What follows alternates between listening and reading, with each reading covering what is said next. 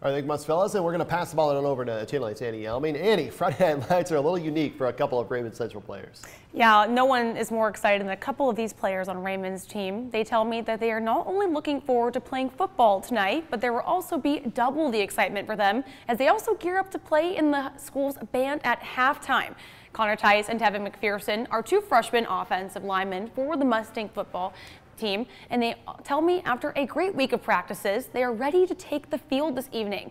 But this week, they also have been practicing the trumpet and saxophone with the Mustang Band.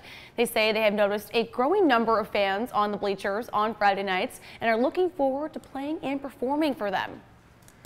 Yeah, so at uh, halftime, we uh, run to run to our uh, goalposts, then set our helmets down, run to the run to the band, grab our instruments, and get in formation. We just stay in our football uniform.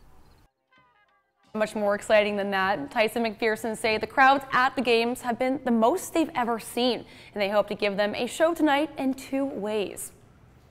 And if you happen to be at the game tonight, shoot us a video on the Now Local News app. We'd love to see your perspective of this fun performance tonight.